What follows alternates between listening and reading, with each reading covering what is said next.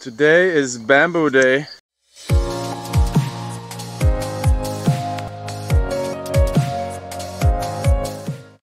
We have some uh, bamboo issues. There was a lot of rain and a lot of a bit of storm and wind and stuff like that.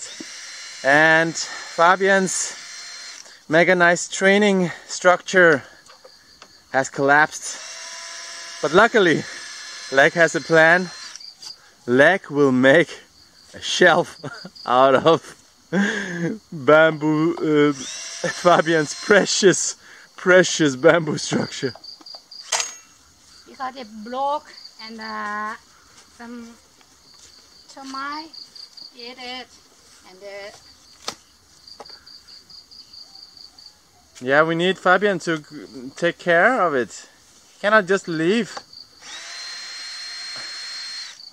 Come Fabian come and take care of this Fabian, come and take care of this. Bamboo is a, a bit a special thing. Sometimes some some of them last very long time, some of them don't. So it needs to be either harvested at the right time or have the right age and be put in the right conditions. If it's just buried in the soil or there's too much rain and yeah, it's it's it's uh, you. We need to practice more. Water inside the bamboo also. Next time, Fabian, you need to make a roof. You need to make a structure where you put your structure inside.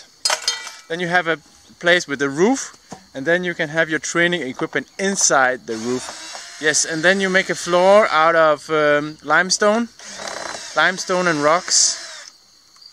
Termites don't like limestone. The bamboo table where we stacked a ton of bamboo and other stuff has now collapsed, so this needs to be cleared. Where is Fabian? And Fabian's structure is like it's still standing, but it's a little bit skewed to the left. But uh, yeah, it's still holding up. When will it collapse? Nobody knows. I did my mud helmet and then I did my round of mangoes. So I checked of um, if there are any cracked mangoes on the trees and if there are any dropped mangoes to clear the ground because soon we will need to cut the weeds because they are overgrowing everything. It's not so good. And now it's time for bamboo, clearing the bamboo. And we're protected by this mud hat which gives um, like protection from the sun. So I think this is the best thing for protecting from the sun, protecting maybe from mosquitoes, protecting from itchy plants and itchy um, worms. There are small worms with small hair and they're like crawling everywhere. And if you touch that, you can uh, get the and um, will get very itchy. You'll get like allergic reaction on your skin. So I think maybe just covering your body with one inch of mud. Yes. And you can just reapply some of it. Um, I need to figure out how to cle- uh, clean the mud in an easy way because there are a lot of fiber, fiber or carbon from from the roots of plants. But you can reapply whenever it, it dries up. This is probably not not thick enough, but it's nice to reapply and it's wet and it's uh, cold, so you can cool down. You can be out in the sun. So a sunscreen. I think kids will love it in Europe. So stop buying the shitty sunscreen and just take uh, on a lot of mud when you go uh, on the beach or something. Take a mud bucket with you. Your children will love you for this. Imagine like parents shouting their children all the time when they were in kindergarten because they play with mud. And now the parents come with a bucket of mud.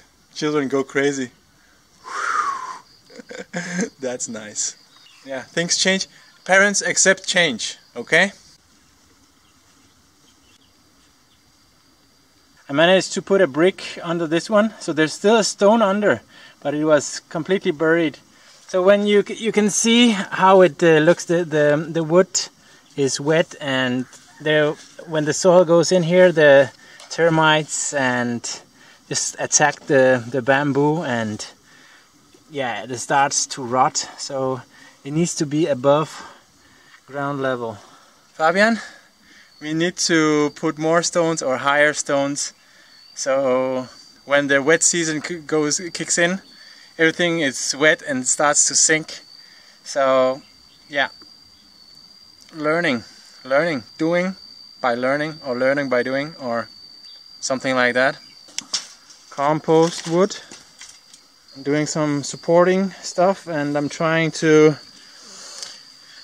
put a brick under this piece but I don't think I can do this alone. So Fabian I need help right now look at the red Cavendish.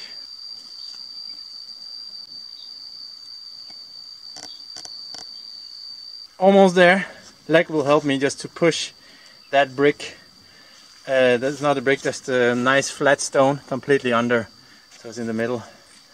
It's possible. Yeah. I don't think it will collapse anytime soon hopefully. It's very nice. It's a good thing nice place to store some bamboo we used a lot of it for different projects so it's very nice thank you Fabian and friends friends for example, Matto, who helped to uh, take some of this bamboo harvested from uh, area nearby where it would be burned if we didn't harvest it. So don't burn, harvest and store and then you can use the bamboo to build all kinds of cool things.